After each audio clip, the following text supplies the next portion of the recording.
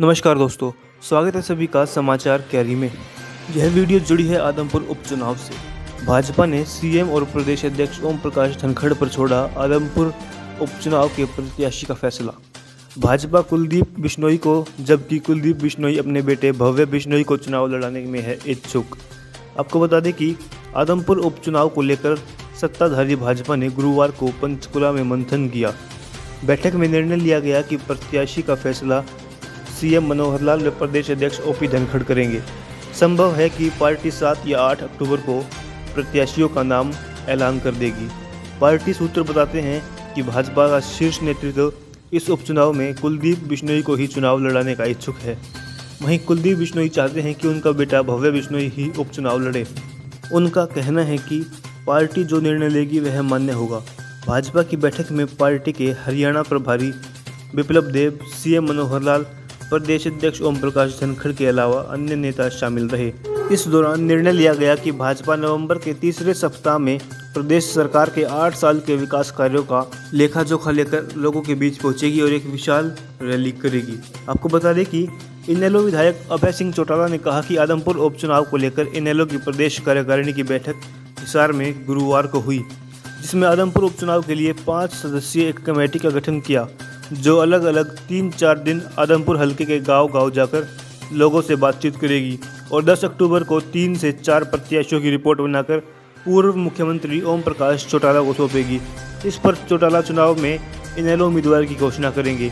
चौदह अक्टूबर को उम्मीदवार का उम्मीदवार का नामांकन भी भरा जाएगा। आपको बता दें कि भाजपा आज कल में घोषित करेगी प्रत्याशी, कांग्रेस आज करेगी मंथन। जी हाँ नेता प्रतिपक्ष एवं पूर्व सीएम भूपेंद्र सिंह हुड्डा ने कहा कि कांग्रेस पार्टी आदमपुर उपचुनाव को लेकर तैयार है। पार्टी सात अक्टूबर को चंडीगढ़ में बैठक करेगी। इसमें पार्टी के नेताओं की ड्यूटी लगाई जाएगी।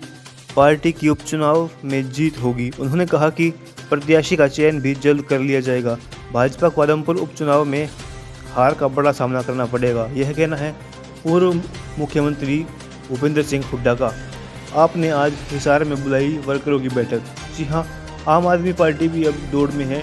आम आदमी पार्टी के हरियाणा प्रभारी डॉक्टर सुशील कुमार ने बताया कि पार्टी की पॉलिटिकल अफेयर कमेटी में बैठक में निर्णय होगा कि आदमपुर उपचुनाव में कौन प्रत्याशी होगा। चुनाव की तैयारी के लिए प्रदेश के सभी वर्करों की बैठक शुक्रवार को हिसार में बुलाई गई। वहीं सूत्रों का कहना है कि ज़्यादातर दल एक दूसरे के प्रत्याशी को देखकर नामांकन करेगी। ऐसे में ज़्यादातर दल नामांकन के लिए आखिरी दिन तक नामांकन भरने का इंतज़ार करेंगे। आपको बता दें कि ईडी से बचने के लिए और बेटे को राजनीति में स्थापित करने के लिए कुलदीप ने दिया इस्तीफा। यह कहना है अभय सिंह चौटाला का। आदमपुर में ऐसे हालात नहीं थे, जिस कारण कुलदीप को इस्तीफा देना पड़े। ऐसा इसलिए किया कि कुलदीप बिश्नोई अपने बेटे को राजनीति में स्थापित करना तथा खुद को ईडी से बचाना चाहता है। इनेलो के प्रधान महासचिव अभय सिंह चौटाला ने कहा कि कांग्रेस वाले रोज नए नए बयान देकर भ्रम पैदा कर रहे हैं। कांग्रेस के पास स्थायी उम्मीदवार नहीं है। कांग्रेस में दो नेताओं के नाम संभावित उम्मीदवार के लिए चल रहे हैं, लेकिन संपत सिंह और जेपी दोनों बाहर के हैं। जिस पार्टी के पास हल्के का उम्मीदवार नहीं है, लोग उसे कैसे स्वीकार करेंगे? उन्होंने कहा कि आदमपुर कभी कांग्रेस का गढ़ नहीं रहा। आदमपुर में हमारा और भजन लाल का मुकाबला होता था। अभय ने कहा कि सीएम कार्यालय भ्रष्टाचार का अड्डा बन गया है।